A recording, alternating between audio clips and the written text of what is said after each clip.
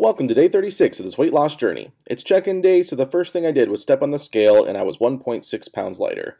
I took some progress shots and made some leftovers before heading out to the big gym for the first time this year.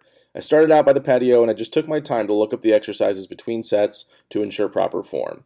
The gym was less packed, so I was able to hit all my exercises without interruption. I also made sure to adjust the weight to ensure I was able to finish all my sets, but still feel challenged.